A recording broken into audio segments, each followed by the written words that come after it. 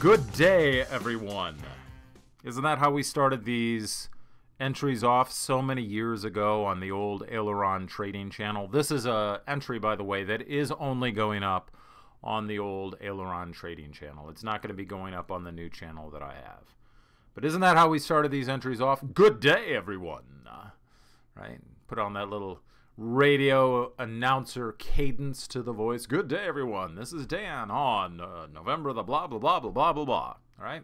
Old Aileron Trading Channel. This channel's been around. I am proud of the fact that I have not contributed to this channel.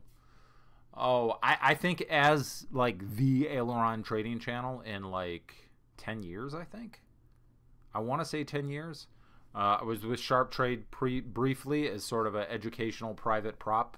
Uh, really worked as a private prop outfit. At least that's what I wanted. Um, I'm not sure how clearly I communicated that among all the partners, which would have been my fault. But I really wanted it as a private prop, um, but did, you know, educational work as well. So I used the Aileron Trading Channel a little bit during that time um, and threw some of the old, you know, Sharpe trade videos up on there. But honestly, like as Dan, right, as the what did it start off with? It started off with the old investing and trading blog, and then it went to no nonsense trading, and right, it, it's had a few iterations. But as Dan, I don't think I've contributed to this channel in 10 years, and it still has like 8,200 or 8,300 subscribers. That's come way off, right? Because when I announced, it's like, hey, I'm retiring the channel. I'm not going to be contributing here anymore um, basically, uh, you know, the subscriber count obviously and the view count obviously fell off. used to have millions of views and all of that. So what am I doing here? so what am I doing here? Well, how do I put this? For the Aileron Trading Channel, I'm going to keep it. Okay? So are we retiring it? Sorta and sorta not. I'm going to keep it. Uh, as some of you may know by now, I manage a single family office structure uh, and pretty much the, the wealth management of that structure. And there's when you when you get into sort of that sort of corporate structure, there are there are many layers, right?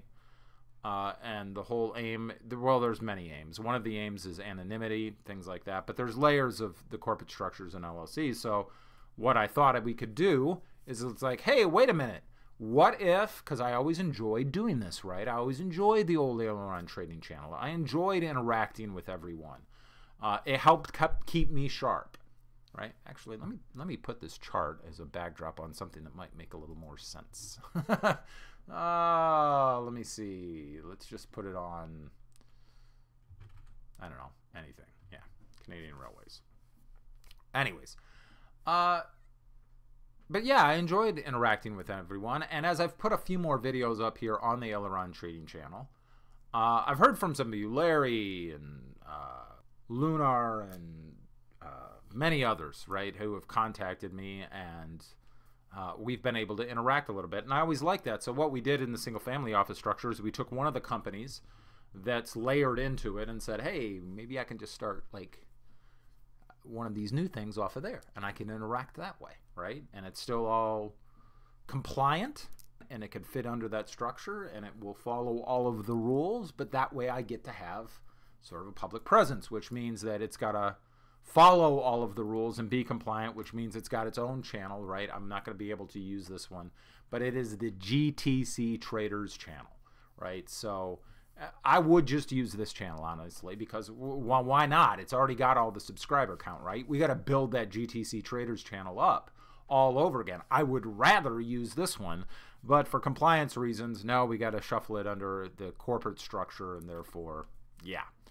So, that being said, what I've been doing for GTC traders, I'm back, right? Sort of under that structure because it's something that I can do, right? Uh, when I sort of went away seven years ago, it's like I want to pursue a more institutional efforts, which you did. Uh, pursued that, and that sort of ran into a lot of how do we put this reputational risk conflicts with the Aileron Trading Channel, right? And so I just retired it. But now with a new opportunity, right? And I can have GTC traders, and that GTC traders is under the corporate structure of the SFO, then okay, I can follow all the rules there, right? So great, awesome. I, I get to I get to yabber my mouth again. But what do we do with this Aileron trading channel? Well, what I'm going to do, since I have authorization over the that GTC Traders channel, is just whip, you know, as soon as I upload the videos there, I'm going to upload them here a little bit later. So they may not come out on this old Aileron trading channel up to speed. You know, they may not come out as quickly as they would because very obviously we have to make GTC traders uh, for that particular company in the structure we have to make it the priority, right? But I'll throw them over here. So, and I'm going to keep doing that. Uh, it won't have all the features that GTC Traders has, right? Um, the actual website itself has a sample portfolio going up. I just basically just a basic like fifty thousand dollar portfolio uh, that we're doing and announcing moves. If if you haven't seen the GTC Traders site, I am over there and you can go there and you can subscribe uh, via email to entries and everything that we're doing over there right? There's the twitter and the the facebooky boha and the instagram and all that fun stuff right?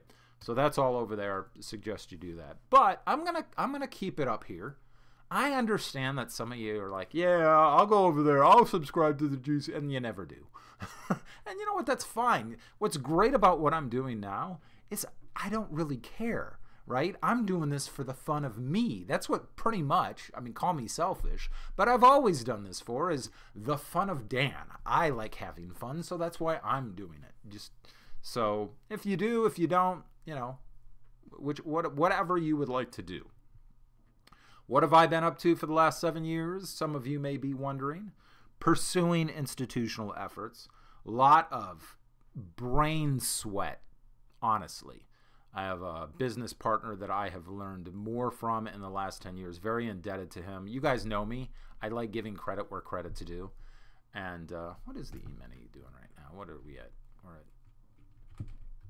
Just sort of curious. Sorry. Interesting. We've had a bearish bent. We're, we're still in a rally and a downtrend.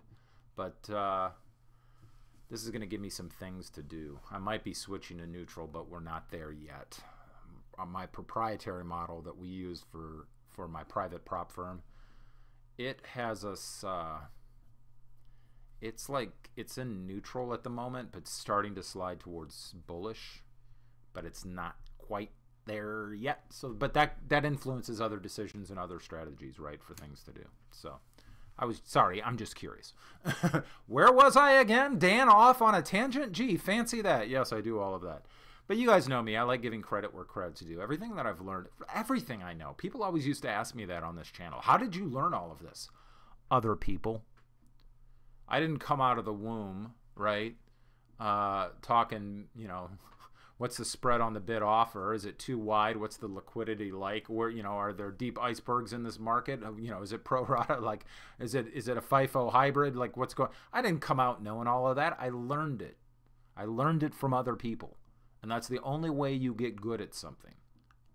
Right? So, like I said, and it's not to really flatter other people because, quite frankly, I don't care. right? But I do believe in giving credit where credit's due. And I, I have truly come to believe that ego is a very dangerous trap. Um, one I've fallen into a few times. And I think that's very, very, very, very dangerous. And so I'm trying to, quite frankly, avoid the ego trap by giving credit where credit's due. That's the primary reason. Again, a little bit selfish, right? It's not to flatter other people. Like I got friends and, and, and friends that are business partners and friends I've learned a tremendous amount from, either legally and regulations, how to set up structures, about markets themselves. It's not to flatter them. I love them. I love them to death. They're my brothers. They're my friends. But it's not to flatter them. It's to avoid the trap of ego, right? You always give credit. There's a scripture in the Bible I've always loved. What do you have that you did not receive? Just a very simple question. What do you have that you did not receive? So why should you boast? I'm paraphrasing that a little bit, but that's the general idea. What do you have that you did not receive, and therefore why should you boast? So, again, the reason why I give credit's not to overly flatter anyone.